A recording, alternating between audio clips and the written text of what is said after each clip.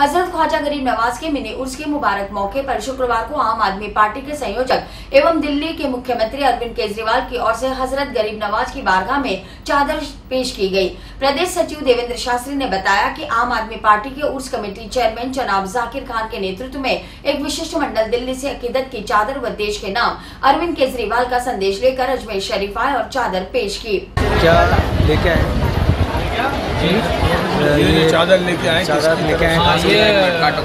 آج محرم اس چھٹی شریف میں ولی حضور غریب نواز کے بارگاہ میں دلی کے وزیر اعلیٰ جناب اروند کیجریوال صاحب نے ایک چادر پیش کی ہے جو جناب ذاکر حسین خان صاحب چیئرمین اس کمیٹی ہمارے ڈاکٹر صاحب وقار خان بخالی صاحب لے کر آئے حضور گری نواز کی بارگاہ میں۔ جناب سید ظہور بابا چشتی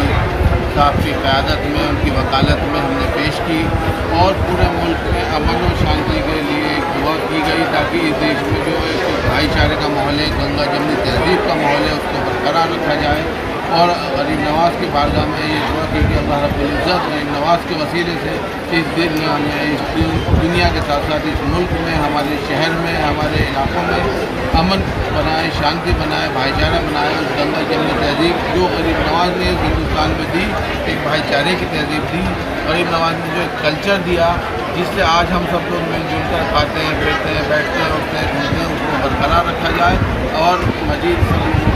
پینے کے اللہ سب کی سب کی جائز تمناؤں کو قبول کرے، جائز مرادوں کو پوری کرے۔